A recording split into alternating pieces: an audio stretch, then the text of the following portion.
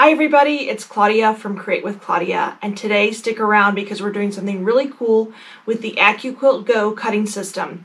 I'm using their new Tree of Life die to make this gorgeous angel wall hanging.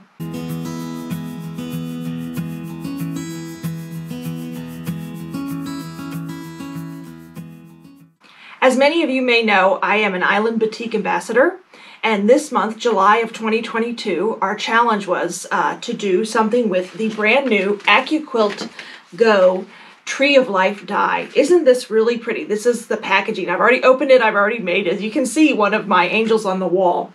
The challenge was every month the uh, ambassadors get a, a certain challenge. And thank you so much to AccuQuilt Go for sponsoring this month. We love getting their dies, and I love using their machine. Um, but this month's uh, it was Christmas in July, and the challenge was to use this die, and you could make the beautiful tree of life, and you'll see their different ambassadors do all sorts of different things, or you could change it up a bit. And I felt like changing it up a bit, uh, and that's how this angel was born. Actually, what I did is I set it on point and turned it upside down, and I'm going to show you how to color all of the different sections on this die to make this really pretty angel. But the first thing I want to do is um, Thank all of the sponsors again AccuQuilt, Island Batik. I'm using uh, Aurifil thread, and of course I use Schmetz needles in my machine. And then for this one, I did use Hobbs fusible batting. I love their fusible batting, and unfortunately that was my last piece, so I need to get some more of it. Um, but anyway, uh, all of the fabrics you're going to see, even the solids, I'm going to show you, I'm using a green solid for the background. I'm, I'm changing up the color a little bit in this one that I'm going to be demonstrating with. Um, uh, but um, it is a solid, and if you have never used Island Batik solids, I highly recommend them. They just have such a nice weight to them and a nice uh, sewing. They, they, they're so nice to sew with. But let me adjust the camera. I'm going to show you really quickly just how I use the AccuQuilt Go system. I've already cut out all of my pieces and I've even sewn a bunch of them together uh, to make this process a little bit quicker and make this video a little bit faster. So here's the AccuQuilt Go that I got from them as being part of the ambassador program. How awesome was this? And I'm going to just show you really quickly how to use the die. You open this up, and this is the manual turn one, which I really like. Let me pull it. It is pretty heavy, so uh, you got to use your muscles here. And I have a piece of fabric, and let me grab the die. So this is the AccuQuilt die, uh, Tree of Life die, excuse me. I'm going to switch this around actually so you can see it better. And I'm going to reference back to this a lot, especially when I'm showing you all of the fabric cuts that you need for the uh, angel that I'm making. But for right now, I'm just going to show you really quickly how I cut out pieces. And I have a scrap piece of uh, fabric, excuse me. You're going to cut your fabric. And the instructions that come with this die tell you what size you need to cut to get the most effective use of your fabric. And then you make sure you use this cutting protecting board. And you can see I've used it a lot. I get a lot of use. And then you just roll it through. There are other versions. I think there's an electric one. There's a smaller one. I don't know if the Tree of Life die fits all of them. You'd have to go to AccuQuilt's website to uh, check that out. So anyway, you roll this through. And of course it's going to hit my sewing machine. Let me twist it a little bit. There we go. That's the thing with these really long dies like this one. A lot of them are shorter. And then you just pull that off. And there you go. There your pieces, your perfectly cut triangles. You can see how that works and it's pretty green. Perfect for Christmas. Nice Kelly green. So there you go. That's how you use it. And that's how I cut out all of the pieces. So to start, and before I actually start that, let me just tell you, on my website, I have all of the um, information that you're going to need uh, listed out for you, so it's easier to follow if you want to, you know, check out the website while you're while you're making your angel. So for for um, excuse me for the angel itself, you need 36 triangles of the uh, template B, of the AccuQuilt template B, you need 36 triangles in the angel fabric, fabric A, which in my case is white. For the angel body, which I call fabric B, you need four squares of the AccuQuilt template A. For the angel crown, in my case fabric C, which is this gold, you need two triangles using the AccuQuilt temple, uh, template, excuse me, B. And then here are the big cuts and the, the ones you need to, the most of. For background fabric, this is all the background fabric, BG, you need two strips using AccuQuilt template D, two strips using the AccuQuilt template C, one strip using AccuQuilt template E, two triangles using the AccuQuilt template F, two of these shapes uh, using the AccuQuilt template G, two triangles using AccuQuilt template H, two squares using the AccuQuilt template A, and 18 triangles using the AccuQuilt template B. So that so the other thing you're going to need, and again, remember this angel is on point, so uh, to make it square, I need four triangles of fabric, and I've already cut those for you. I had a 15 and a half inch square that I cut two times on the diagonal. So it would look, and it's not real pressed, I had it all folded up ready to do this presentation. Just so you can see it, let me just fold it out for you. So 15 and a half inch square. You can even make it 16 inches if you like a little bit more wiggle room because you will be trimming down your final uh, angel uh, when it's done. But there you can go. You can see how it just is cut in the diagonal, 15 and a half inch square. You'll need that to make it finish. And if you like the border, that's if you, you know, if you want that border, I put a red border on mine. On this one, I put a red one, and the other one, it's a like a silver. You need two border strips cut two and a half inches by 20 inches. And then two border strips cut two and a half inches by 24 and a half inches okay? So that'll give you a nice nice big border over sort of finish off the angel a little bit. It's a nice makes it a nice wall size hanging and last but not least and this is again if you desire to i added some snowflakes i thought it was a little blank up on top. There's a lot of room on the top of the, the angel block, especially once you've added the four corners to make it square. So what I did is I had this template for a snowflake, and you can get that over on my website. So I used some um, some HeatnBond, paperback HeatnBond fusible uh, applique. It's nice. I use the Ultra Hold. I like that nice thick. And then I traced out my shape very easy to do. I traced that out on the back. Um, I printed that out in black. And then when I traced it out, I followed the instructions of the HeatnBond. And I used this fun white Island Batik fabric with little dots on it. I thought that was kind of perfect, look like snowflakes. Um, you're going to cut around this so that it fits on your fabric.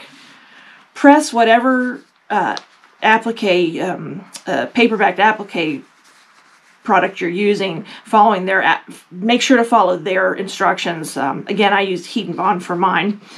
And then you have a piece like this, you cut it out, and then again, following the instructions, you remove that paper backing, and then you have these great snowflakes, which we'll put on put on at the end uh, when we're almost ready to finish this up. I like putting these on at the end so I know exactly where to position them. So one of the things you're going to definitely want to do is run over to my website and you want to get, I have this as a, a, a downloadable PDF and you want to print out this pattern. It's just a blank so you can use any color you want. And I've made some notes on them because I'm going to show you how I do this step by step. The very first thing you want to do is join up, remember all those triangles, those small B, uh, AccuQuilt template B triangles we made? You're going to make a lot of different squares with them. You're going to join them up. I am going to put on the screen how much you need of each one. Uh, and that will help you out uh, when you're pairing these up. But once you're done, all of your half square triangles should be, uh, excuse me, the small triangles uh, that you made should be uh, used up and then we're ready to sew it all together. So the first thing you want to do is get together all of those pairs that I'm showing you on the screen right now and sew them up and um, press them and then we will be ready to uh, start assembling the angel. Okay, so for the first part of the angel block, we need to make that big square at the bottom. And again, you're going to refer back to your pattern that I have on my website. The first thing you're going to do is you are going to, I'm going to move these aside a little bit. You're going to sew these two sections here on this edge and really pay attention to the placement. They should fit perfectly and they do. I love this AccuQuilt cutting system. Uh, it's a little hard to see with the green, I can tell, but you're going to line those up and you're going to sew along this and you're going to repeat with this one and then press those and then I'll come back and show you the next part to putting together this bottom square. All right, so here we go. We're moving along. The next thing you're going to want to do is you're going to want to sew this to this, these two pieces to this center, um, this center piece. I believe that was E on both sides using, and the one thing I did forget to mention, don't forget always use that quarter inch seam allowance. That makes these pieces come out perfectly. So I'm going to do that again, sewing this to this and this to this, and then I'll show you what the next step looks like. All right, now you can see how it's coming along. We're almost done with this bottom square. You're just going to add those triangle Fs to each end of this, and then we will set this section aside and then start on the angel part. All right, my friends, there we go. There's the bottom section, one corner of the uh, block for the angel that we're making, and I'm going to set this aside. Now, you might say, hey, these are all the same color. Uh, why did you use all the cuts? AccuQuilt all of their cuts are so precise. I didn't want to mess with the system. I mean, you could easily come over here and measure it, but it might not be exactly what you're looking for. So I don't want to mess with their measurements and their cutting system. And this also gives the opportunity, if you didn't want this all one solid, and you'll see at the end how it turns out, maybe you want to add some color to it. So that's why I use all the pieces. So the next row we're going to do is what I call my row number two. And let me just get all the pieces for you. And again, don't forget, I have this all laid out. In the, I have uh, pictures of everything on my website to help you out. So for this one, for row number two, what I consider row number two, you're going to need the one strip of the background fabric that's cut with the template D. And then you're going to need two squares that were both pieced with the white, the angel fabric, fabric A, and then one of the AccuQuilt template A's in fabric B. I know that's a little confusing, but this is that body that runs sort of down the middle of the angel. And you're just going to piece this together, and this will be your row number two, and then we set that aside. Again, all right, so here is my row, or my section two that I'm going to call that. So section number three has one of the, the white squares, has another one of those blue A, um, it's a squared A on the AccuQuilt guide, but I'm using the blue fabric. And then I have to look at my uh, guide here. One of the things I forgot to mention, keep those diagonal seams of those half square triangles all running in the same direction that it's shown on my pattern or my layout. Not really pattern, it's a layout, because I'm using the AccuQuilt guide to use it. Let's see. One, two, three. And then we're going to throw in one of these, if I can find them. There we go. It's going to start looking pretty soon like a, uh, it, very shortly you'll start seeing the wings, but right now I know it doesn't look like much. So you're going to use background fabric, one of those half square triangles with the angel fabric in the background fabric, and then three of those uh, white and white half square triangles, one of the blue, and then another one of the white and white half square triangles. You're going to piece this whole row together. All right, so there is my uh, section number three. I'm going to set that aside and we'll do section number four now. So for section number four, you're going to lay it out as follows.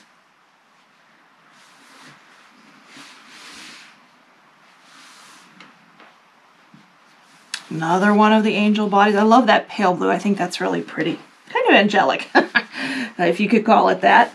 Let's see. Again, you definitely want to keep, I actually have this right next to me to follow along because it, it's very easy to get the pieces mixed up. So I highly recommend you go download load that and and um, and uh, keep it next to you.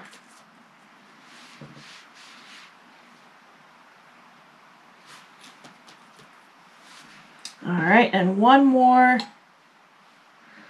you'll see my hand moving over. It's because I'm counting out to make sure I have enough pieces. So you have one, two, three, four, five, six, seven. And it's one, two, three, four, five, six. Yep, we're good. So this is the layout then for section number four of putting this angel together. And again, you just sew it across and make another strip. Alrighty, so here is um, the section number four, and we need to do one more section number four. So I would kind of consider this uh, section number 4A. The other one just has a has different coloring, but it's the same layout of, of number of blocks and, and where the, the squares are. So I'm going to leave this one out for reference. And then this next block, you're going to lay out like so. There you can see that crown starting. And there, then the rest is all background. And you sew it together just like this one. Alrighty, so here's that other section four, much more heavy on the green, and there's that crown. So now we're going to sew a few of the sections together. And um, let me go ahead and pull back. I'm going to pull back the first section four we did. Pull, make sure I put them in the right order. I'm going to set this one aside with all the green. All right, let me make sure I'm doing this right. It's hard because it's kind of upside down, so it's it's interesting. Uh, you gotta want to make sure. No, here we go. you gotta, I, I, tell you, I have to lay this out and really think about it before I sew things together. So the next thing you're going to do is you're going to sew this row. In fact, let me rotate it around because that's how I was showing it to you early, earlier, excuse me. This was this was section three, and this was that first section four we did. And you can see how that, that wing is starting to form here. You're going to sew these two strips together. I highly, highly, highly recommend pinning. Uh, press them, I press these opposite ways and I pin right here on every seam because you want to get nice sharp, a nice line there with that pretty angel wing and you're just going to sew a quarter inch and sew this section together. All right, so here are those two sections sewn together. The next thing you want to do is add one of those fa background fabrics that was cut out of template, uh, the AccuQuilt template C. You're going to add that to this green end, very easy to do, that should take no time, and press that out, and then we're going to set this section aside. So for this next section, it's section number five, you're going to need to piece a lot of different rows together. Let me go grab them. They obviously just fell on the floor. All right, here they are. They fell all over the floor. Let me just lay this out for you. And again, this is all in that diagram. Whoops. This is where you want that other, let me think here for a second. Yep. Is that right? No, that's not right. Let me think. See, this is why I need this, um, I need that pattern. You really do have to pay attention. Sorry about that. Um, it's really important to pay attention.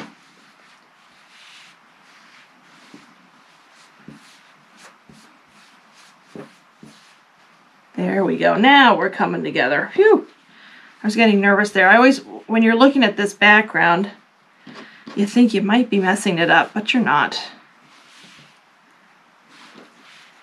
Okay, so for right now, we're to do it like these are all the half square triangles that we sewed together, and then this is that section C, and we're to do that. So first thing you want to do is sew together all the individual rows, one, two, three, four, okay? So we're to do that first and then we're going to sew the rows together, but I'll show you how it looks before we sew all the rows together.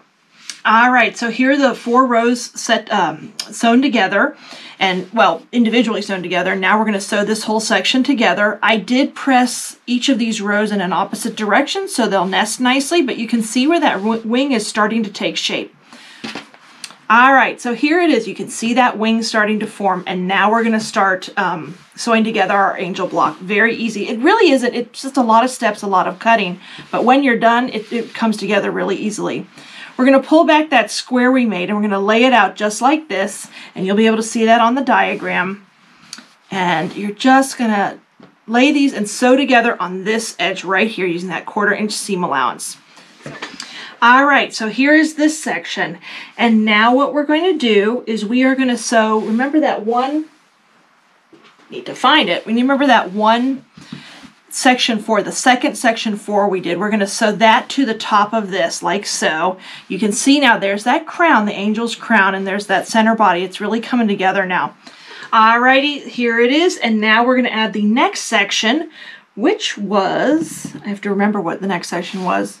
Oh yeah, we're we're gonna add this D. Remember that, that one strip we had left, we're gonna add that to this end. So it's gonna look like that. We're gonna add that here. All right, it's starting to take shape, take flight, I guess you could say. The next thing we're gonna add is, if you remember, we took those two sections, we sewed them together. This was sections, whoops, make sure I'm doing this the right way. There we go. Uh, it would have been a, a, weird looking angel if I'd done it that way. Anyway, you're going to add those sections. This was that sections three and four, the first four we did. Um, what the three and four, excuse me, that we did. We're going to sew that to this edge, making sure to pin it every seam. There are a lot of seams here. It looks a little wobbly right now, but when you start quilting it and everything, it comes together really nicely. So I'm going to do that, and then we have one more strip. Let me just pull that over since that way it'll be easy to see. You can sort of envision it.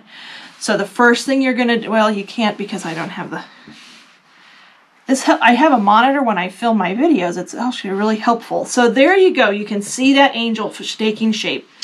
All right, our angel's almost done. Isn't it pretty? I love it with the green background versus the blue. I'm going to show you at the end, of course, both of them compared. Um, but now we're going to just add this row to here and we'll be done with the center section or the main section of this angel wall hanging. All right, so here is my finished block. It should measure about 14 inches, finished 14 and a half right now. And I will trim it down a little bit. Sometimes the edges, you know, there's a lot of triangles here and it, they get maybe a little bit of a little wonky with pressing and all the quarter inch seam allowances. Here is what a tree of life looks like with the AccuQuilt die. Gorgeous in itself. I love this orange too. That's really pretty. But here it is. I just recolored it and used a lot of the same colors, all the whites and everything, and made myself an angel. Now you could leave it like this and just trim it down to 14 and a half inches if you need to. I, you may not need to.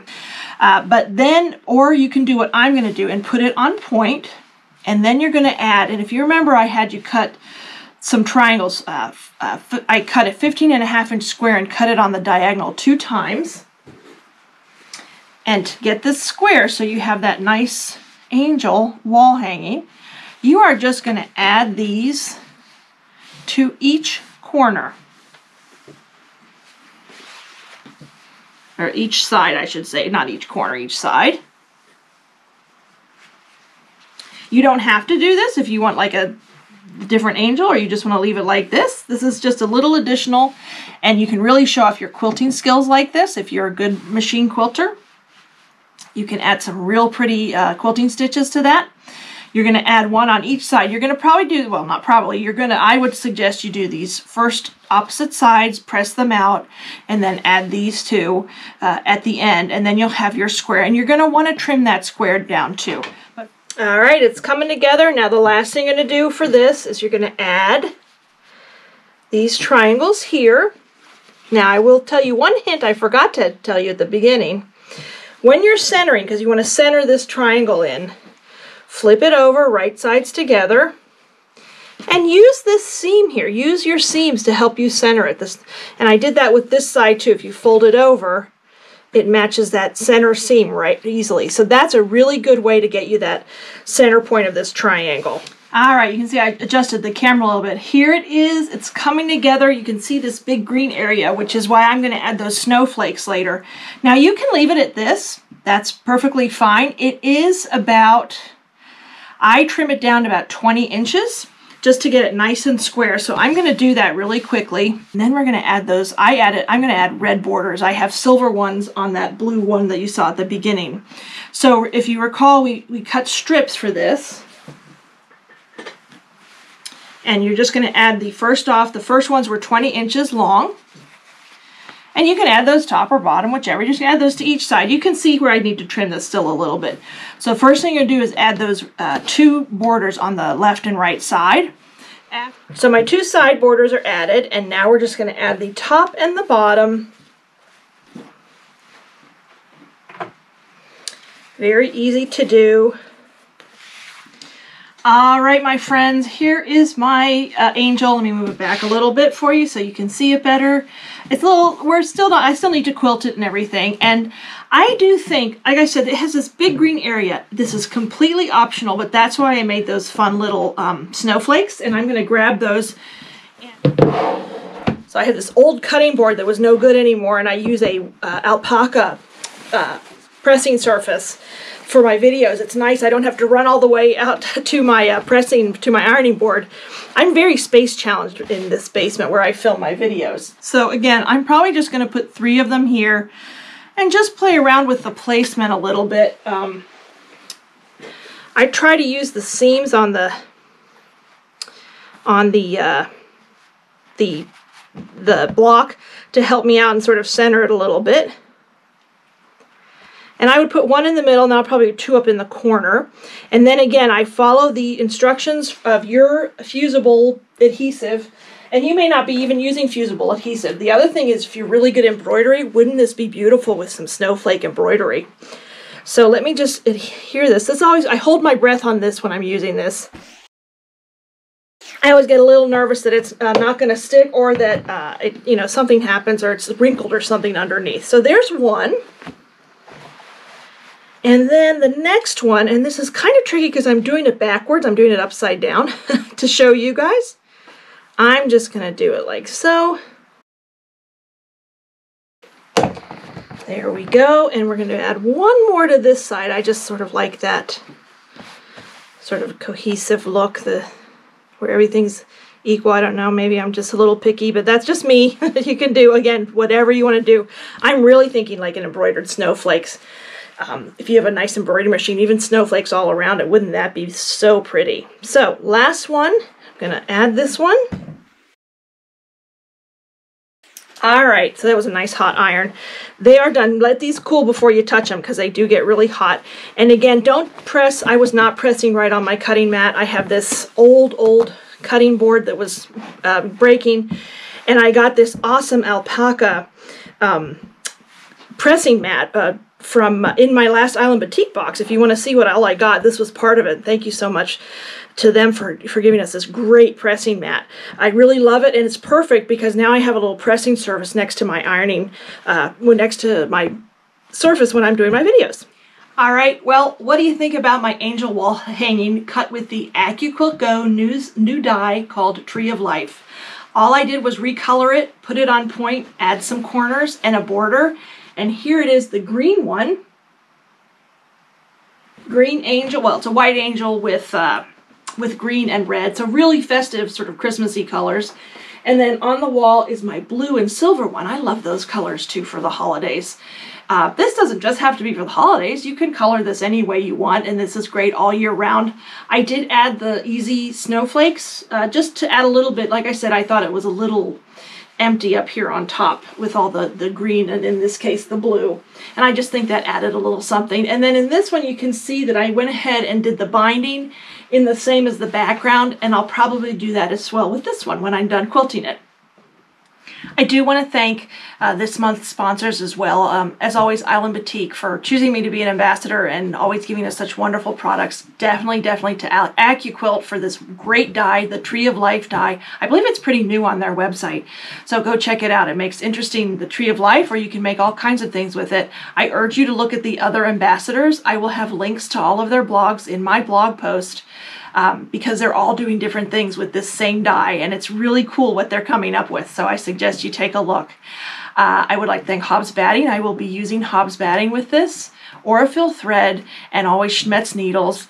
And I would also like to thank, it's a new sponsor for Island Batik, and I used them, I mentioned that, uh, the, the cutting mat, Prairie Spirit Alpacas.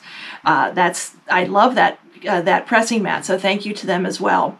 I really appreciate you watching. Thank you so much and have a great day.